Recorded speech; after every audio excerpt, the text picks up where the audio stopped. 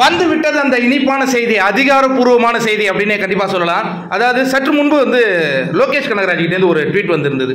இன்று மாலை ஆறு மணி அப்படின்ன உடனே நமக்கு பொறி தட்டுச்சு. ஏன்னா இன்னைக்கு காலையிலேருந்தே தலைவர் ஒன் செவன்ட்டி ஒன் பற்றி நிறைய அப்டேட்டுகள் வந்துட்டு இருந்தது. நம்ம சேனலில் கூட ரெண்டு வீடியோ போட்டிருந்தோம். தமிழ் புத்தாண்டுக்கே டீசர் வருது. அந்த மாதிரிலாம் விஷயங்கள்லாம் கசிஞ்சிட்டு இருக்கும்போது லோகேஷ் கனகராஜனுடைய ட்வீட் வந்து கவனத்தை ஈர்த்ததுங்க. கரெக்டாக ஆறு மணி அளவில் இந்த ஸ்டில்லை போட்டு லோகேஷ் கனகராஜ் சொல்லியிருக்கிறது என்னன்னா தலைவர் ஒன் செவன்டி ஒன்னுடைய டைட்டில் வருகிற ஏப்ரல் மாதம் இருபத்தி ரெண்டாம் தேதி அறிவிக்கப்படும் அப்படின்னு சொல்லிட்டு கூடவே டீசரும் இருக்கு அப்படிங்கிற அந்த மகிழ்ச்சியான செய்தியை கொடுத்துருக்காங்க. செம ஹாப்பியாக இருக்கு. அதோட ஒரு ஸ்டில்லையும் ரிலீஸ் பண்ணியிருக்காங்கங்க தலைவர் வந்து விண்டேஜ் தலைவர் மாதிரி செம்மையாக இருக்காரு. அவர் என்றைக்குமே அவர் வயசு மட்டும் ஏறவே ஏறாது. குறைஞ்சிக்கிட்டு தான் வரும் அப்படிங்கிறது மீண்டும் ஒரு முறை நிரூபணமாக இருக்குது இதை இந்த புகைப்படத்தை பார்த்தோன்னே எத்தனை பேருக்கு அப்படியே பயங்கர சந்தோஷம் ஏற்பட்டுச்சு அப்படிங்கிறத கமெண்ட்டில் சொல்லுங்கள் ஹேர் ஸ்டைல்லாம் அல்லுத சூப்பராக இருக்குங்க.